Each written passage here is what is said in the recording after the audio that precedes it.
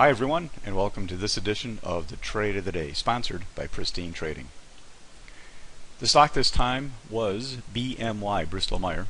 It was from Friday July 10th.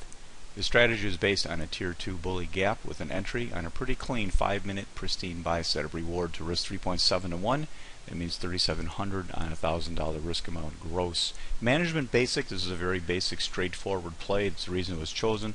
A lot of good plays this week. Could have chosen from some good winners, but um, this was, I think, the cleanest and uh, simplest basic play that uh, was an all-day hold, but yielded a really good return. For those of you that are new to trading or have not had any formal education, I encourage you to get to know Pristine by attending Pristine's free aftermarket lessons. They're on Mondays and Thursdays and often other days of the week.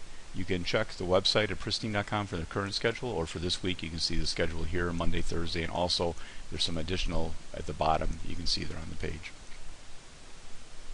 Here is the five minute chart of BMY. The reason this was in focus this day was because the daily chart showed this gap up that cleared that red bar, which was just clearing a consolidation from before, and also negating a prior bearish red bar that initially is bearish, but when it doesn't work, it becomes bullish.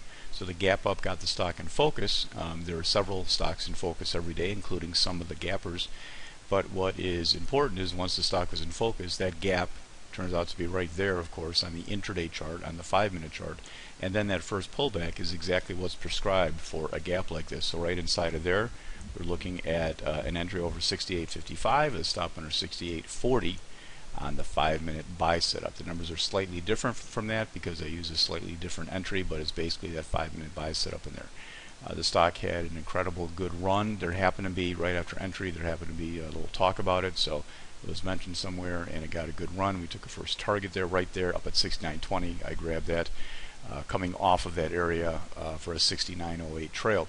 And then uh, the intent was to hold end of day because this was a bullish daily chart. So the second target was trail, just uh, just going into the end of the day. It was kind of a bar by bar thing at that point. You can see going under that bottoming tail, and the stock ended up closing really strong anyhow.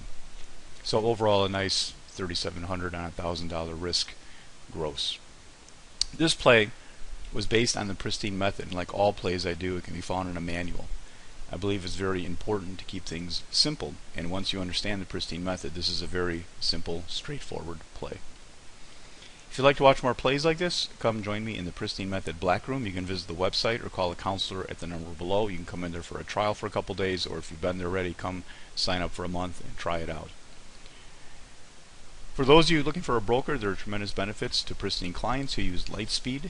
Ask your counselor to go into detail about all the benefits that you can have. Until next time, this is Paul Lang. Please feel free to contact me with any questions at paul at pristine.com.